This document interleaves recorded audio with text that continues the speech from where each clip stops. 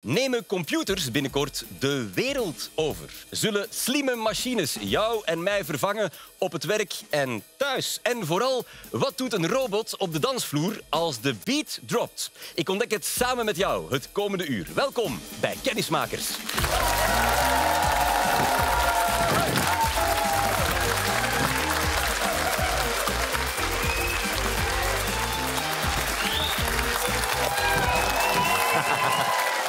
Dank u, dank u, dank u. En ook welkom aan ons publiek hier in de studio. Vanavond maken we kennis met professor Steven Latree. Hij is hoofd artificiële intelligentie aan het Research Center IMEC en professor aan de Universiteit van Antwerpen. Hij heeft meegeschreven aan meer dan 100 artikels in allerlei slimme internationale wetenschappelijke tijdschriften over dat onderwerp. En vanavond deelt hij met ons zijn passie voor de zelflerende computer. Dat klinkt een klein beetje als science fiction, maar AI staat dichter bij ons dan we misschien zelf denken. Pas op, achter u. Geef hem een niet zo artificieel, maar wel heel superintelligent applaus. Hier is Steven Latree.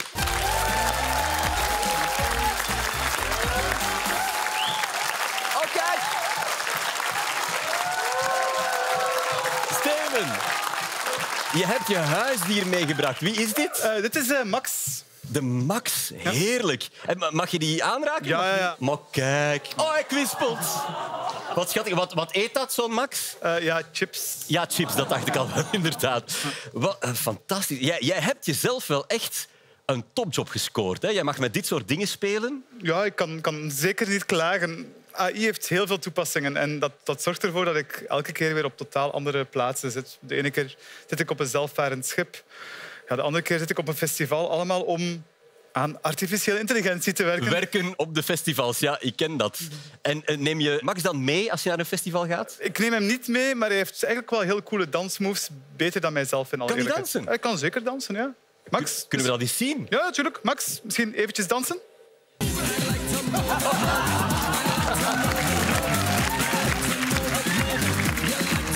Nu, sorry, ik, ik, dat ik het feestje eventjes vergal, maar ja, dit is eigenlijk niet echt artificiële intelligentie. Het zag er nogthans intelligenter uit dan wanneer ik dans. Meestal. Ja, dat kan. Ik ga daar niks over uitspreken, maar dit is echt geen artificiële intelligentie. Ik heb zo het gevoel dat jij ons gaat vertellen wat dan wel artificiële intelligentie Absoluut. is. Ja. Zal ik Max meenemen? Laat hem nog eventjes staan. Oké, ik verdwijn. De vloer is helemaal van u. Steven Latree. Dank u wel.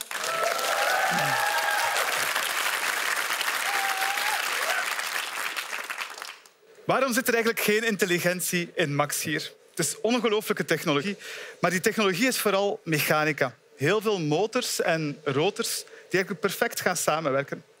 Maar wat Max met die motors en rotors doet, ja, dat is op zich de dag van vandaag nogal beperkt. Dat kan je heel goed zien als ik een ander muziekje laat horen. Bijvoorbeeld, Max, kan je eventjes een, een kleine wals dansen?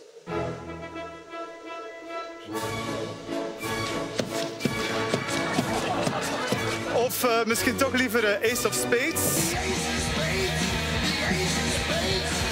Of toch uh, liever een streepje krachtwerk? En ik weet niet, als je het ziet, ja, eigenlijk doet Max gewoonweg datzelfde dansje van helemaal in het uh, begin. Max is eigenlijk niet anders dan een, een one-trick hond. Een beetje zoals u zat een onkel die uh, ook op een trouwfeest alleen maar enkel die kniezwengel uh, kent. En dat is omdat Max volledig is voorgeprogrammeerd. Heeft een programmeur op voorhand, millimeter per millimeter, seconde per seconde, gezegd Max, nu moet je dit doen. Twee stappen naar links, een stapje voorwaarts, een stapje naar rechts.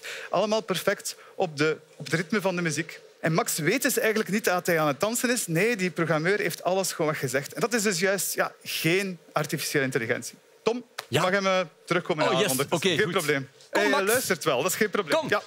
Allee, kom, kom. Kom zo.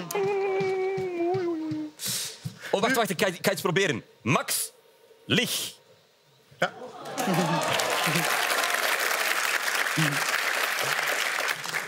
Nu, als je al een klein beetje artificiële intelligentie toch zag in Max, dan was het eigenlijk als je aan het wandelen was. Want die studiovloer is niet altijd zo makkelijk en hij moet eigenlijk goed kijken waar hij zijn poten zet. De ene keer moet hij het anders doen dan de andere keer. En dat aanpassen, dat is nu echt wel artificiële intelligentie. Dus aan de ene kant heeft Max wel artificiële intelligentie, aan de andere kant eigenlijk niet. Dat is een beetje vreemd.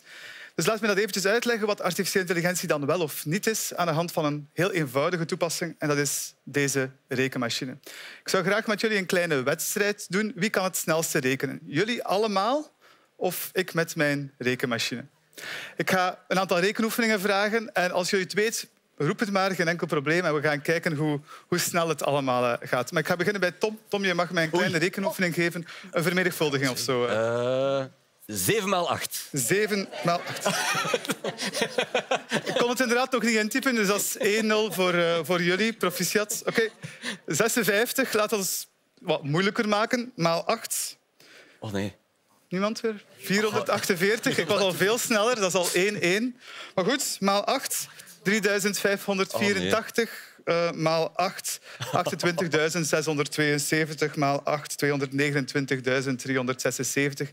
Ja, ik denk dat je het door hebt. Ik kan doorgaan en doorgaan en doorgaan. En ik zal denk ik altijd winnen met mijn rekenmachine.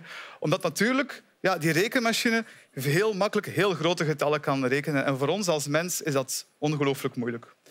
En toch gaat niemand gaan zeggen dat die rekenmachine dat die intelligent is. Ook als je een tekst schrijft op je computer of een, een spelletje speelt, ja, dan is die computer eigenlijk aan het rekenen. In het Afrikaans noemen ze een computer een rekenaar, ook voor, voor die reden. Maar op zich is dat niet intelligent. We hebben eigenlijk al tientallen jaren geleden uitgelegd aan zo'n computer ja, een rekensom of een vermenigvuldiging die werkt zo en we programmeren dat ook zo. Dus op zich past daar nooit iets aan en is dat ook niet uh, intelligent. Dus dat is eigenlijk geen artificiële intelligentie. Wat is artificiële intelligentie dan wel? Wel, artificiële intelligentie zal nieuwe informatie gaan verzamelen, gaan leren uit die informatie en zijn gedrag gaan aanpassen op basis daarvan. Dat klinkt misschien nog wat abstract, maar laat me dat eventjes heel duidelijk maken aan de hand van twee specifieke robots.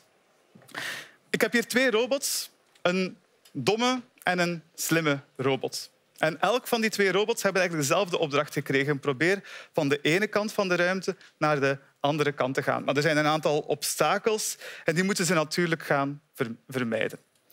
Nu, de eerste robot die is dom. En dat betekent dat hij op voorhand is voorgeprogrammeerd, net zoals Max. Dat betekent dat hij nog altijd perfect die obstakels kan gaan vermijden, maar op voorhand hebben we gezegd hoe die robot precies moet gaan rijden. En dat zie je heel mooi in code. Hij rijdt eerst twee meter vooruit. Daarna zeggen we tegen hem, wel, draai nu 90 graden. En hij vervolgens weer twee meter vooruit. En dat lijkt op zich ja, allemaal perfect te werken, totdat er iets onverwachts gebeurt. Een obstakel. Dat die waar we hem voor geprogrammeerd hebben niet meer overeenkomt met die werkelijkheid. Een obstakel zoals ik. En die zorgt ervoor dat die robot stopt en dat die robot niet meer weet wat hij moet doen. Dus dat is een domme robot. We hebben ook een slimme robot vandaag. En die slimme robot die heeft veel meer. Die heeft camera's. En die camera's kunnen gaan kijken rondom in de omgeving wat er allemaal is. En dat betekent dat hij voorzien is op onverwachte situaties. Ik kan er perfect gaan voorstaan. En dan stopt die robot.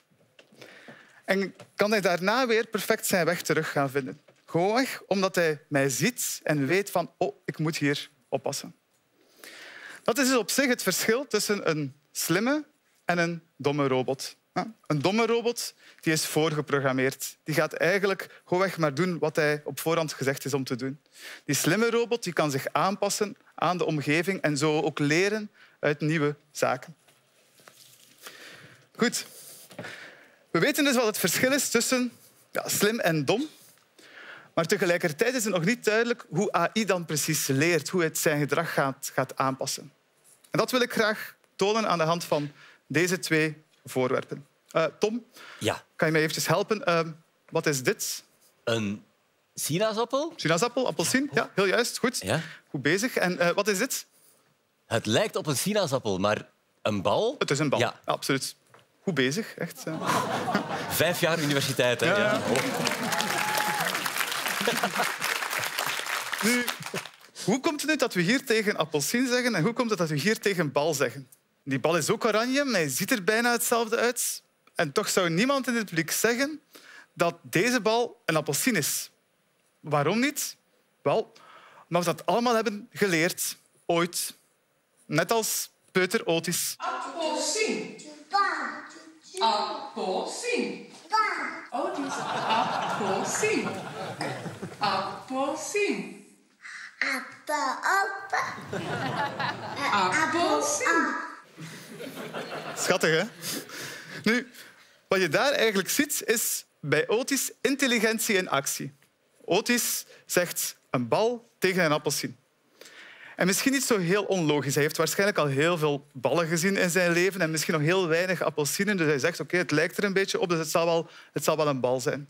En oké, het is niet onlogisch, maar het is tegelijkertijd ook verkeerd. En zijn mama corrigeert hem en zegt onmiddellijk, nee, het is een appelsien. En je ziet Otis eigenlijk denken, en heeft nog wat moeilijkheden met de, met de lettergrepen, maar op zich slaagt hij er perfect in om te zeggen, ah oké, ik ben gecorrigeerd, dus het is een appelsien. En op zich, als je erover nadenkt, als we dit zouden aan een computer moeten uitleggen en moeten, tegen die computer zouden moeten zeggen ja, ik ga een appelsien gaan onderscheiden van een bal, om dat echt in regels te gaan definiëren, ja, dan is dat heel, heel moeilijk. Hoe maak je AI duidelijk wat het verschil is tussen een bal en een appelsien? Dat is niet evident. Want ja, je zou kunnen zeggen, een appelsien is altijd oranje. Nu, ik kan u garanderen, af en toe laat ik eens een appelsien liggen. Appelsinen zijn niet altijd uh, uh, oranje, uh, dus die zijn soms ook bruin. Um, anderzijds, ja, een bal kan duidelijk ook oranje zijn en die zijn zelfs even groot. Ik zou misschien kunnen zeggen, ja, een appelsien heeft altijd putjes, maar er zijn ook oranje golfballen. Dus zo begint het heel moeilijk te worden om regeltje per regeltje per regeltje te gaan definiëren en te zeggen, zo ziet het verschil tussen een appelsien en een bal eruit. Eigenlijk bijna ja, onmogelijk.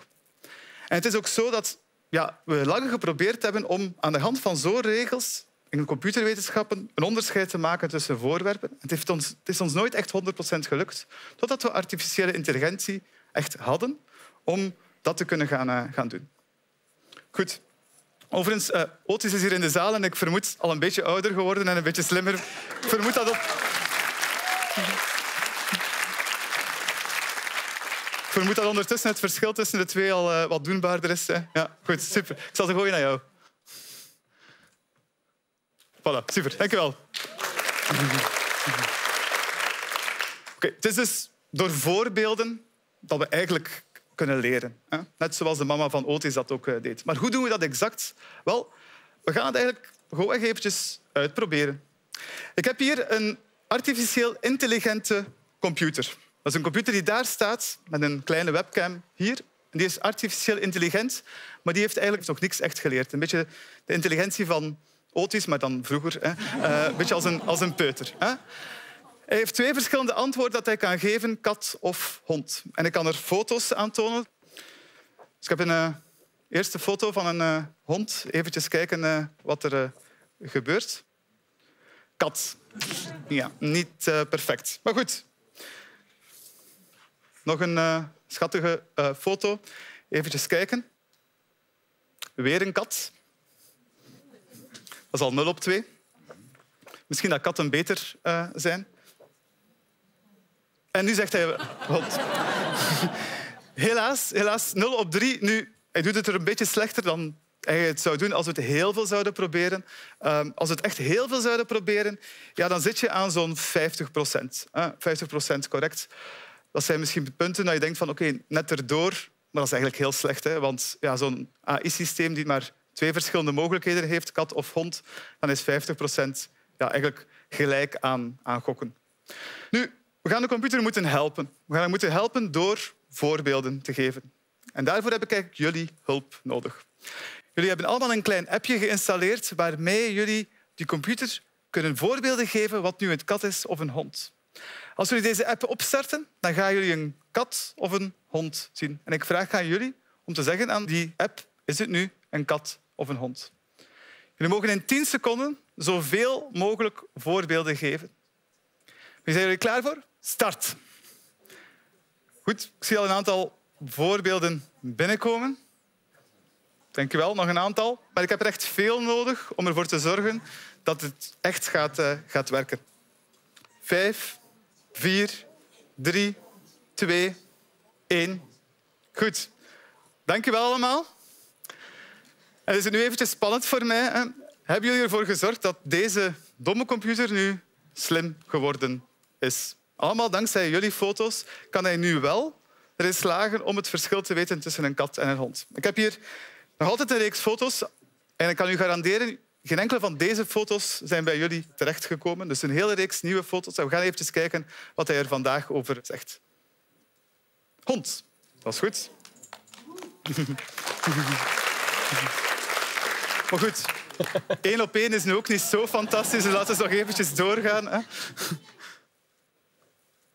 Kat, perfect.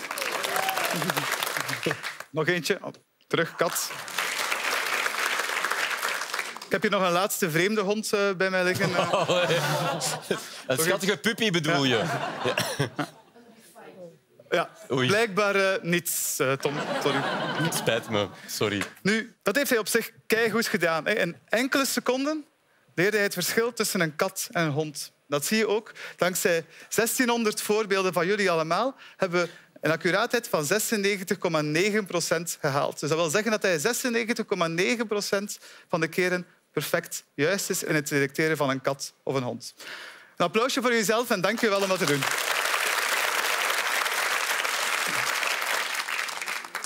Nu, hoe doet hij dat nu eigenlijk? En Hoe gaat hij nu op basis van jullie voorbeelden die vertaalslag maken naar die detectie kat of hond? Wel, in alle eerlijkheid, we weten dat zelf niet echt goed. Je kan misschien zeggen, oké, ja, nu wordt het wel heel gemakkelijk om te zeggen dat je een AI-expert bent, maar het- het is wel een beetje zo. Hè. Ehm, AI is heel goed in het herkennen van patronen. En als je een foto neemt met een, met een smartphone, dan neem je eigenlijk een foto van zo'n 12 miljoen pixels. 12 miljoen pixels. En elk van die pixels wordt eigenlijk met een hele kleine berekening door het artificiële intelligentiesysteem bekeken om te detecteren over wat voor pixel gaat dat eigenlijk. En dat is op zich een relatief eenvoudige berekening. En zo kunnen we zeggen, ah, deze pixel die is rood. En deze pixel hier juist naast, die is ook rood. En die er nog eens naast is ook rood. Dus zo kun je eigenlijk lijnen beginnen detecteren van bijvoorbeeld een rode pixel. En dan kan je die ene lijn en een andere lijn die er misschien juist naast staat, ook gaan bekijken en die lijn er nog eens onder ook gaan detecteren. En dan detecteer je misschien een driehoek. En zo detecteer je een heleboel vormen van driehoeken, cirkels, vierkanten enzovoort. En dat allemaal samen kunnen we gaan, gaan gebruiken om nog grotere objecten te gaan detecteren. Van bijvoorbeeld een, een neus of een staart of eh, wat, dan, wat dan ook. En zo kun je beginnen met echt bijvoorbeeld een hond te gaan, te gaan detecteren. Al die berekeningen samen zijn meer dan een miljard. Dus als ik zeg van ja, we weten zelf niet goed hoe het werkt, dan is het vooral omdat er zoveel gigantisch veel berekeningen gebeuren, allemaal om gewoon te detecteren of het nu over een kat of een hond gaat. Het gaat detecteren of het nu een kat of een hond is, ja, zoveel ben je daar misschien niet mee. Misschien als je het echt niet weet in een dierenwinkel, dan misschien wel. Maar dat is eigenlijk bijzonder beperkt. Hè? Maar we kunnen de dag van vandaag eigenlijk al duizenden alledaagse objecten gaan detecteren. We hebben al grote AI-systemen gebouwd, lang, lang geleden, die ondertussen in staat zijn om perfect duizenden van die objecten te gaan, te gaan detecteren.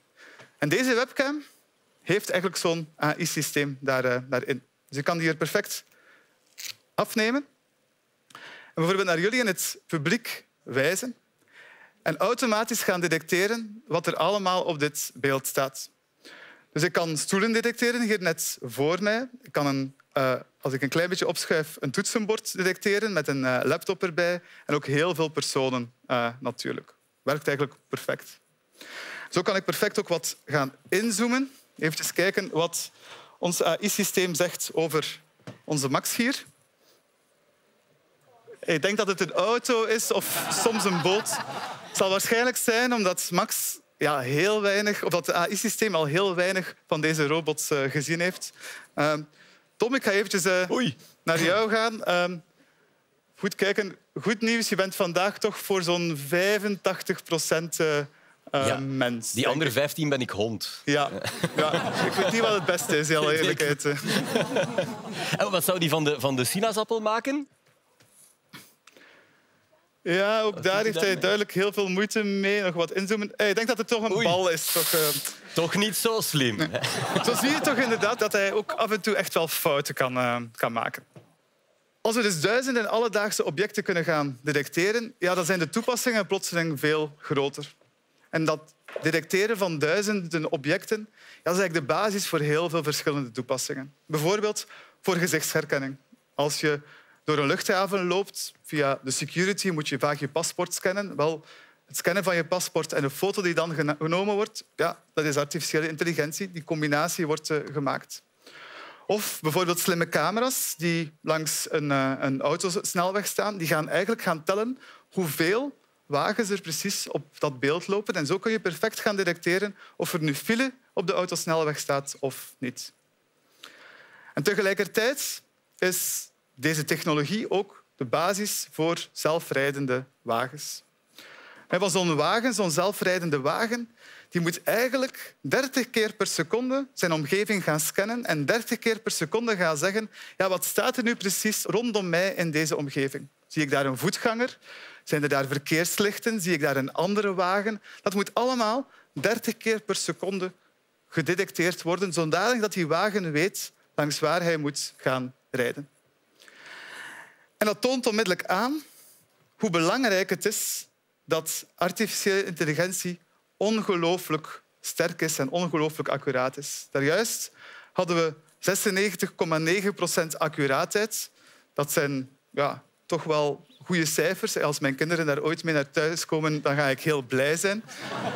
Maar tegelijkertijd is dat voor artificiële intelligentie eigenlijk absoluut slecht. Want zo'n zelfrijdende wagen ja, die moet 30 keer per seconde gaan een beslissing nemen. En 96,9 procent juist betekent ook zo'n 3 procent, dus drie keer op 100, verkeerd. En als je dat 30 keer per seconde moet doen, ja, dan heb je sowieso ja, ongeveer om de seconde toch al een foutje. En dan wil je echt niet dat die zelfrijdende wagen denkt, oh, wauw, uh, er loopt daar een voetganger, maar ik detecteer die niet. Voor mij is dat een stukje asfalt. Ik ga eventjes lekker gaan, uh, gaan versnellen. en het is zo dat die zelfrijdende wagen echt in heel veel specifieke omstandigheden ja, echt moet kunnen daar toch omgaan. We konden daar juist Max niet gaan herkennen. Wel, zo is het ook bij zelfrijdende wagen. Die gaat onvoorziene omstandigheden tegenkomen.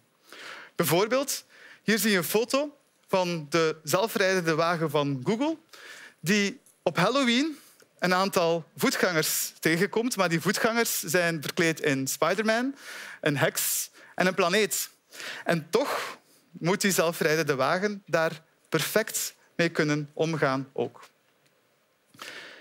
AI kan dus zeker ook fouten maken. En die fouten die AI maakt, zijn soms ook wel bijzonder. Zo kunnen we aan een artificieel intelligentiesysteem foto's tonen en wat we soms als resultaat krijgen is toch soms wel heel raar ook. Zo kunnen we vragen aan AI een foto van een, een kat geven en vragen AI, kan je alsjeblieft zeggen wat er op deze foto staat? Dit is een brood. Ja. Niet echt juist. Maar tegelijkertijd begrijp je nog een heel klein beetje waarom AI die fout maakt. Ja, ja, ja, het is oké, het is oké. waarom AI die, die, die fout maakt. Hè? Want ja, die kat die ligt wel een beetje in de vorm van een brood. Hè? En tegelijkertijd is hij ook een beetje bruin. Oké, dus je kan het nog een beetje begrijpen, maar wij als mens wij gaan nooit die fout maken op deze manier.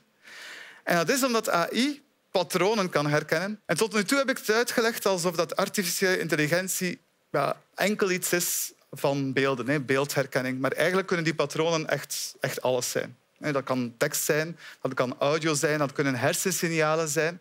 Dus AI zit echt in alles dat goed patronen kan herkennen. Bijvoorbeeld een uh, slimme luidspreker zoals Alexa. En daar kan je ook veel dingen aan vragen. Dat is geluid. Wel, dat is een heel mooi voorbeeld van artificiële intelligentie. Maar soms, ook soms daar, in producten die nu al op de markt zijn, gaat het vaak ook wel fout. Omdat we bijvoorbeeld aan Alexa iets vragen en ze die patronen toch niet perfect kan gaan herkennen. Dat is bijvoorbeeld hier gebeurd als er... Uh...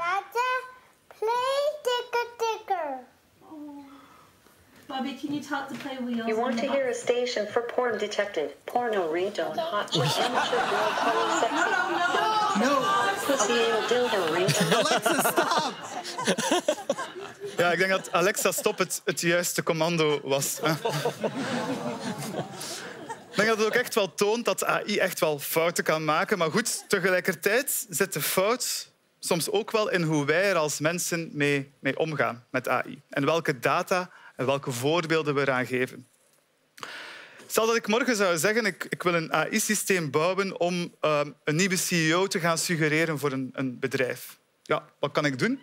Dan kan ik voorbeelden geven van succesvolle CEO's in de hoop dat AI dan de juiste profielen oppikt om mij een suggestie te geven van wie ook een goede CEO zou kunnen zijn. Ja, en als je kijkt naar de huidige arbeidsmarkt, blijkbaar zijn op dit moment heel veel CEO's blank en boven de 50. Nu, als ik dat ga doen en ik ga een systeem zo gaan bouwen met artificiële intelligentie, ja, dan gaat artificiële intelligentie mij vooral een hele reeks blanke mannen van boven de 50 gaan, gaan geven. En dat is echt niet omdat AI aan het discrimineren is. Het is ook niet omdat AI in C racistisch is. Nee, het is omdat we AI de verkeerde voorbeelden gegeven hebben. We hebben hem getraind met de verkeerde data. En in het jargon noemen wij dat garbage in, garbage out. Het is een beetje zoals in een fastfoodrestaurant. Als je rommel instopt, dan komt er rommel weer uh, uit op zich uh, ook. nu, er zijn duidelijk wel wat fouten en bezorgdheden af en toe bij AI, maar tegelijkertijd heeft artificiële intelligentie al gigantisch veel toepassingen. En echt toepassingen die je overal in heel veel verschillende sectoren kan, uh, kan zien. Zo heeft een team van de KU Leuven recent een internationale competitie gewonnen waarbij ze vroegtijdig een epilepsieaanval kunnen gaan detecteren. Aan de hand van hersensignalen sturen ze die naar een AI-systeem. Een AI gaat dan u een voorspelling geven of je binnen een paar seconden een verhoogde kans hebt op een epileptische aanval. En dat laat je toe om, als je bijvoorbeeld met de wagen aan het rijden bent, om je snel aan de kant te zetten. Of als je bijvoorbeeld recht staat, dat je snel nog eventjes een stoel kan gaan vinden ook. AI kan dus echt op die manier levens gaan redden. Een totaal andere toepassing is een toepassing van afvalverwerking. Afvalverwerking dat bestaat heel vaak uit hele grote vuilnishopen. En in die vuilnishoop kan echt van alles gaan zitten. Soms ook heel gevaarlijke zaken. Een gevaarlijk iets, zoals bijvoorbeeld een gasfles. Als mens is het heel moeilijk om die kleine gasfles te gaan vinden in die grote vuilnishoop. Maar voor artificiële intelligentie is dat eigenlijk niet zo heel moeilijk. Die kan heel makkelijk die ene gasfles gaan vinden in een gigantische hoop van allemaal verschillende zaken. En dat laat toe om heel veilig die gasfles te gaan verwijderen. De operator in de kraan krijgt een, een waarschuwing. Daar is er een gasfles te vinden en probeer die dus heel voorzichtig eruit te halen. Ik hoor sommige mensen nu denken, ja, AI, leuk, maar het is ook heel veel automatisering. En je gaat dan misschien niet allemaal onze jobs gaan, gaan afnemen. En het antwoord daarop is een beetje dubbel. Uh, ja, artificiële intelligentie zal er zeker voor zorgen dat bepaalde jobs niet meer nodig zullen zijn. Dat is zo met elke grote technologie, bijvoorbeeld het internet. Ik denk dat heel veel jobs fundamenteel veranderd zijn door het internet ook. Maar tegelijkertijd is het ook zo dat AI ervoor gaat zorgen dat jobs beter en soms veiliger kunnen gebeuren ook. En het voorbeeld van die afvalverwerking is daar een heel mooi voorbeeld van. Die operator in de kraan, ja, die is niet ontslagen. Die kan zijn job enerzijds beter doen, maar die kan zijn job ook veel veiliger gaan doen. Die toepassing vraagt een serieuze investering, maar het kan ook voor een grote besparing zorgen. Dat is ook de reden waarom Vlaanderen elk jaar 32 miljoen euro investeert in verder onderzoek naar AI, in opleiding voor werknemers, om AI te gebruiken en het ondersteunen van bedrijven om AI toe te passen. Dus AI is ook zeker een toepassing daarvoor. AI is dus heel goed in het detecteren van patronen en die patronen zien we eigenlijk overal en die gebruiken jullie eigenlijk ook overal. Bijvoorbeeld heel veel mensen, vermoed ik, gaan hun smartphone gaan openen zonder pincode en doen dat typisch via gezichtsherkenning. Wel, gezichtsherkenning, dat is artificiële intelligentie. Je hebt ooit eens je gezicht moeten laten scannen daar, uh, daarvoor. En misschien heb je het zelf ooit al meegemaakt dat je dan misschien een zonnebril aandoet of een pet aan hebt en dat het dan plotseling niet meer werkt. Dan moet je je pincode gaan intypen.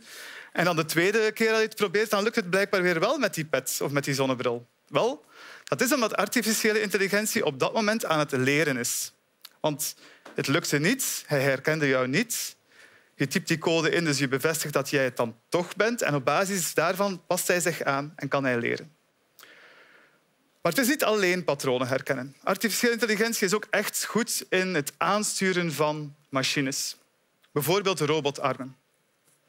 Robotarmen worden de dag van vandaag heel vaak gebruikt in de, in de auto-industrie, waar bijvoorbeeld deuren worden geassembleerd in die, in die wagen. Nu, die robotarmen zijn ongelooflijk krachtig. Die kunnen echt met heel grote kracht perfect die eh, deur daarin eh, plaatsen. Maar die zijn een beetje zoals Max. Die zijn volledig op voorhand geprogrammeerd. Dat wil dan ook zeggen dat als die werkelijkheid toch niet overeenkomt, bijvoorbeeld die wagen die een paar centimeter verder staat van de transportband dan verwacht, ja, dan werkt het ook gewoon echt niet. En dan is dat echt met desastreuze gevolgen. Dan wordt die deur er volledig verkeerd ingeplooid. Daarom dat de huidige robotarmen vooral eigenlijk in, in kooien zitten. Omdat die toch wel qua veiligheid nog niet oké zijn. Met AI willen we proberen om die robotarmen toch uit die kooien te halen, maar wel op een veilige manier. We willen eigenlijk van die robotarmen collega's maken, net zoals ons, die ons kunnen helpen daarin ook. we noemen die cobots. En die cobots kunnen ons dan helpen met alledaagse taken, bijvoorbeeld het aangeven van een schroevendraaier of het wat brengen met een, doos met wat, met, wat, met wat spullen. En we zijn zeker nog niet in die fase dat we robotarmen kunnen bouwen die zo complex zijn, maar we leren ze toch gaandeweg nieuwe kleine taken en dat op een heel veilige manier. En ik heb zo'n voorbeeld van zo'n robotarm hier bij me. Deze robotarm die kan eigenlijk iets fantastisch. Die kan blokjes oppikken en dat in een mandje gaan leggen. Fantastisch, hè? Oké, ik voel een klein beetje sceptisch hier. Um, ik begrijp dat. Het is inderdaad misschien niet de meest spectaculaire taak ter wereld. Maar voor ons als nerds, als ik het mag zeggen, ja, dan is dat echt wel al heel fantastisch. Waarom? Wel, het is zo dat die robotarm vanmorgen eigenlijk nog niks wist. We hebben die robotarm vanmorgen hier in de studio geplaatst en op dat moment kon hij nog niks. We hebben hem gewoon gezegd, kijk, blokjes, mandje, zoek het uit. En dat heeft hij effectief gedaan. Hij heeft wat zitten prutsen, wat zitten duwen eh, tegen het blokje en gedacht, ah, oh, nu slaag ik er toch in om zo'n blokje te pakken. En ah, leuk, ja, misschien als ik dat blokje dan toch in het mandje krijg, nog beter. Hij leert dus eigenlijk, zonder dat we hem iets gezegd hebben op voorhand, om die kleine taak uit te voeren. Maar het is hem wel volledig gelukt om dat volledig zelfstandig te gaan doen. Begrijp je nu waarom ik toch wel fantastisch vind wat hij kan doen?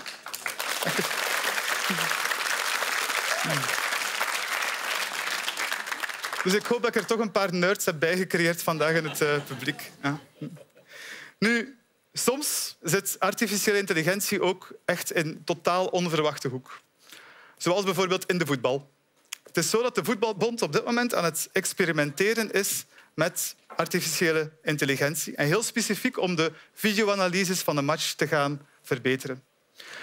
Een videoanalyse van een, een match ja, dat is eigenlijk een heel traag manuele taak. Dat is een videoanalist die beeld per beeld aan het doorgaan is voor exact alles wat die match aan het doen is om dat perfect te gaan beschrijven. Dat betekent dat die videoanalist moet beschrijven op elke seconde. Ah, bijvoorbeeld, Hazard is een pas aan het geven aan Witzel. Dat was een pas door de lucht, dat was een pas via de grond. Die pas is gelukt, die pas is niet gelukt. Dit was de positie van alle andere spelers op het veld. Dit was de positie van de tegenstander. De bal was daar. Je voelt het al. Bijzonder veel werk. Om één match van 90 minuten te gaan analyseren, heeft zo'n videoanalist twee à drie dagen werk. En dat doet hij voor elke match. En daarna begint eigenlijk de, de echte analyse pas. Daarna pas kan hij kijken wat er eigenlijk nu echt gebeurd is in die, in die wedstrijd. Wel, artificiële intelligentie kan dat perfect gaan automatiseren. Dat kan je hier zien op het scherm, waar we links beelden zien van de Rode Duivels en waar rechts artificiële intelligentie automatisch bepaalt hoe nu de spelsituatie eruit zag. Je ziet de bal, je ziet hoe de bal wordt doorgegeven en je ziet eigenlijk elke speler op het veld staan, allemaal via artificiële intelligentie.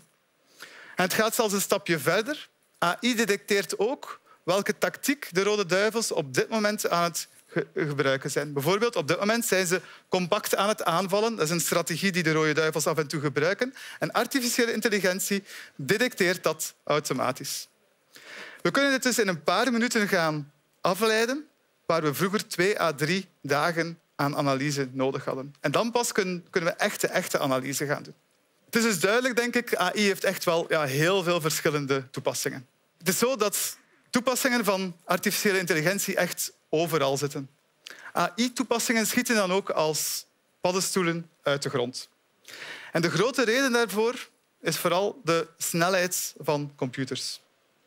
Het is zo dat onze computers de dag van vandaag ongeveer verdubbelen in snelheid elke twee jaar. En je denkt misschien, oké, dat is niet zo fantastisch. Uh, maar op een termijn van 20 jaar is dat een versnelling van maal duizend. En als je dan weet dat AI miljarden aan berekeningen nodig heeft, ja, dan is die versnelling van maal duizend echt wel gigantisch belangrijk. En dat voel je echt in heel veel AI-systemen de dag van vandaag. Toen ik begin onderzoek te doen, ja, dan zat ik eigenlijk heel lang te wachten op mijn AI-systemen. Heel vaak moest ik op vrijdag snel één nog in gang zetten, hopen dat ik geen fouten gemaakt had, om dan maandag te kijken ja, dat ik wel een fout gemaakt had en dat ik eigenlijk volledig moest, uh, moest terug uh, beginnen. Hetzelfde model, dus hetzelfde AI-systeem, kan ik nu op slechts enkele seconden laten draaien. En tegelijkertijd wordt AI ook gewoon echt veel complexer. Want we kunnen veel meer ermee, dus we gaan er ook veel grotere dingen mee gaan maken. Het is zo dat de hoeveelheid berekeningen dat AI jaar per jaar doet in één systeem vertienvoudigt per jaar. Er is dus eigenlijk niets op aarde dat zich zo snel aan het ontwikkelen is. Maar is het dan alleen maar een, een succesverhaal waarin dat het beter en beter en sneller en sneller gaat? Wel ja, eigenlijk zeker niet. Er is zeker een grote keerzijde daarvan. Als je weet dat AI vertienvoudigt elk jaar en onze computers worden maar om de twee jaar dubbel zo snel, ja, dan voel je dat je eigenlijk veel meer computers gaat nodig hebben om dat te kunnen gaan bouwen. En AI wordt daarom ook veel meer een situatie van heel veel data hebben, heel veel rekenkracht, dus heel veel computers hebben en dus bij gevolg ook bijzonder veel geld hebben. En dus die grote AI-systemen, die AI-systemen die echt de coolste dingen kunnen doen, die kunnen de dag van vandaag enkel nog maar gebouwd worden door zeer grote technologische spelers die die middelen hebben. De spelers zoals Google, zoals een Facebook, zoals een Amazon. En die zijn eigenlijk voor Vlaamse industrie en voor ons allemaal minder en minder toegankelijk. Er is dus absoluut nood aan de democratisering van artificiële intelligentie. Daarom dat het Vlaams onderzoekscentrum IMEC ook heel hard aan het werken is aan de bouw van nieuwe computersystemen om ervoor te zorgen dat die grote AI-systemen toch sneller en goedkoper kunnen draaien op kleinere uh, computers. Maar tegelijkertijd is artificiële intelligentie een sneltrein waar we het eindstation nog niet van weten. Het gaat zo snel dat het soms heel moeilijk is te weten van waar gaan we uiteindelijk geraken. En sommige mensen zien dan ook doemscenario's volgen, zoals een hele reeks robots die ja, de wereld gaan uh, uh, veroveren en die eigenlijk zo aan het einde van die wereld gaan geraken.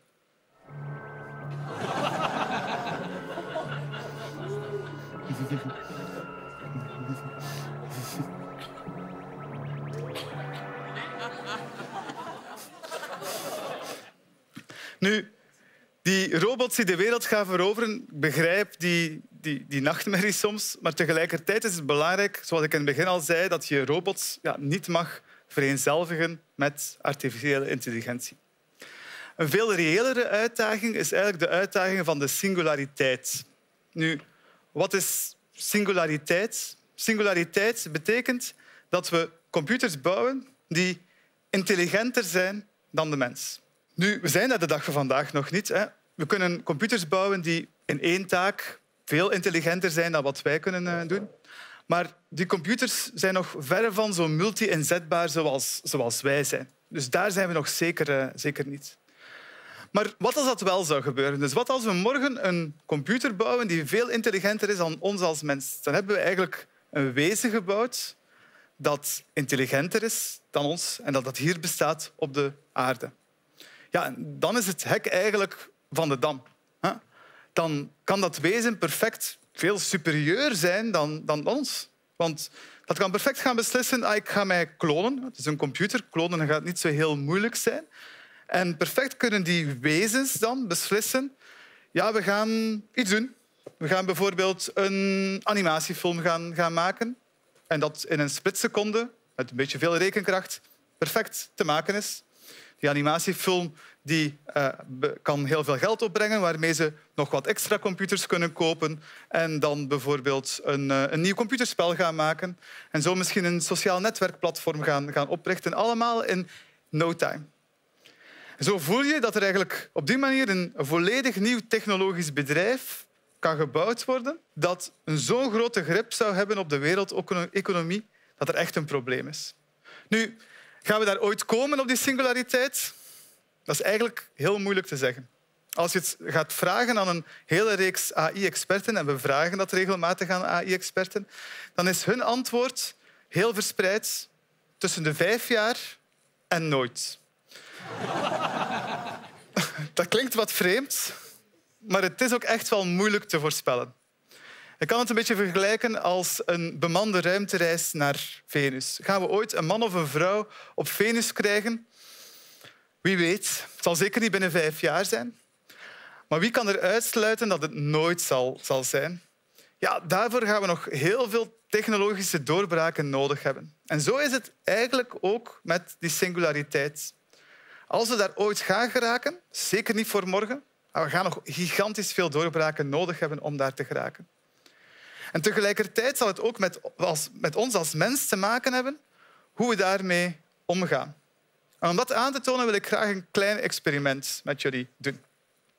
Wat als ik jullie zou zeggen dat ik een AI-systeem kan bouwen dat ervoor zorgt dat je altijd een groene golf hebt met de wagen. Dat je dus nooit meer onnodig voor een rood verkeerslicht staat te wachten.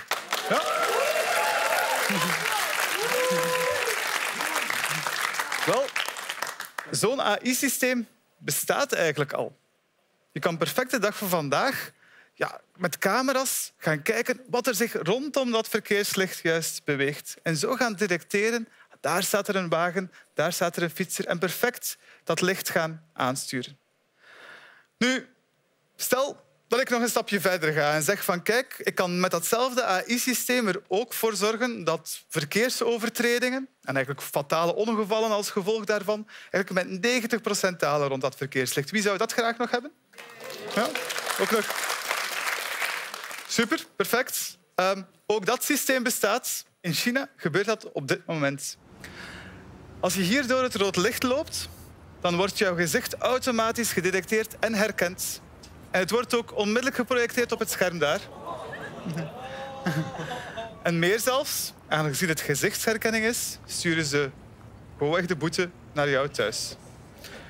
Dat zorgt dus voor 90% minder verkeersovertredingen. Super toch? Wel, ik denk dat het duidelijk is dat artificiële intelligentie ook moet zich houden aan ethische standaarden.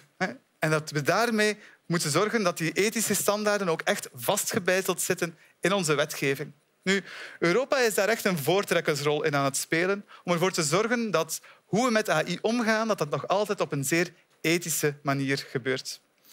Maar weet ook dat verschillende landen daar op een heel andere manier mee omgaan ook. En dan heb ik het nog niet gehad over het energieverbruik van artificiële intelligentie. Al die miljarden berekeningen, ja, dat kost ook wel echt wel heel veel energie. Als je bijvoorbeeld aan Siri gaat vragen, ja, Siri, kan je eventjes het licht uitzetten? Ja, dan treden er eigenlijk een hele reeks AI-systemen in werking. Als ik vraag, hey Siri, kan je het licht uitzetten? Ja, dan gaat dat audiofragment van uh, die vraag worden doorgestuurd naar een cloud. En die cloud gaat detecteren ah, oké, met een AI-systeem. Steven heeft gevraagd om het licht uit te zetten. Dat commando van Steven heeft gevraagd om het licht uit te zetten, wordt naar mij thuis, naar mijn licht gestuurd. En uiteindelijk gaat het licht uit. Dat allemaal ter vervanging van ja, gewoon op de knop gaan duwen om het licht uit te zetten. Als je dus nu morgen denkt van ja, kijk, ik ga wat licht, wat gaat energie gaan besparen en ik ga vragen aan Siri om het licht uit te zetten, weet dan dat gans die cyclus om AI te gaan detecteren, dat dat eigenlijk meer energie vraagt dan één uur het licht aanlaten. Ik vraag in alle eerlijkheid af en toe aan Siri of ze het licht wil uitzetten. En ik vrees dat als mijn vrouw dit nu gaat horen, dat ik nooit meer het licht ga mogen uitzetten via uh, Siri. Maar goed. Nu, het is misschien maar één licht, maar weet dat er zo'n 25 miljard vragen per maand gesteld worden aan Siri. Dus het gaat echt wel over heel veel energieverbruik. En dan heb ik het nog niet over die grote AI-modellen gehad. Die hele grootschalige modellen ja, die kosten eigenlijk nog veel meer energie om te, om te bouwen. De training van het meest complexe AI-model, maar dan gaat het dus om één enkel systeem, kost net zoveel energieuitstoot als de CO2 die vijf benzinewagens uitstoten tijdens hun hele leven. En als je dan weet dat binnen twee maanden zo'n groot AI-systeem weer dubbel zo complex zal zijn, dan is die energie weer zoveel groter geworden. Het is dus zeker belangrijk dat we in de toekomst gaan werken aan veel meer energiezuinige chips. Om ervoor te zorgen dat die AI-systemen op een veel energiezuiniger manier kunnen gaan werken. En dat is ook iets waar het Vlaams Onderzoekscentrum IMEC heel hard mee bezig is. Om ervoor te zorgen dat maar in een fractie van het normale energieverbruik we toch nog die AI-modellen kunnen gaan bouwen. AI heeft dus nog heel veel uitdagingen. Dat is goed voor mij als onderzoeker, dan ben ik mijn job zeker al nog niet kwijt. Um, maar het is belangrijk dat AI niet alleen iets is van de toekomst. AI is echt iets van nu ook. Want we gebruiken eigenlijk continu artificiële intelligentie. Als je nu je smartphone opent, als je nu in de wagen zit, als je een televisieserie aan het bekijken bent, ja, dan zijn dat honderden AI-systemen die eigenlijk allemaal rondom ons zitten. En voor mij persoonlijk is AI dan ook de belangrijkste uitvinding sinds het internet. En net zoals het internet in de jaren 90 is het nu misschien nog wat moeilijk te vatten wat het allemaal zal, zal brengen. Maar we merken wel dat AI aan zo'n snelheid aan het gaan is dat we echt fantastische dingen ermee kunnen doen, net zoals het internet nu ook doet. En tegelijkertijd het internet een aantal belangrijke aandachtspunten gebracht heeft, zoals privacy en data, zijn er ook bezorgdheden met AI. Maar wat je ermee kan doen, is echt fantastisch.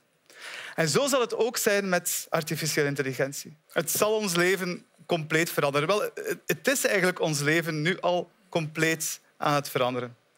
En wees er maar heel zeker van, it is here to stay. Dank je wel.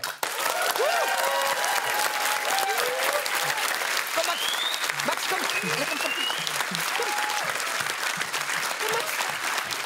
Steven,